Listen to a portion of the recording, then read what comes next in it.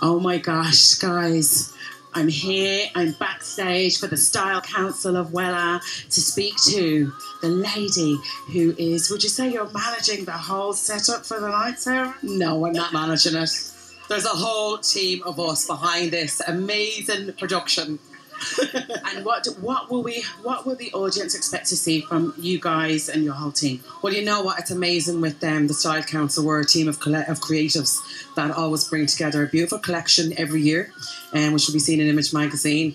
And obviously, you're going to see lots of different looks, lots of beautiful colour, lots of beautiful styling, amazing clothes, and beautiful makeup, beautiful models.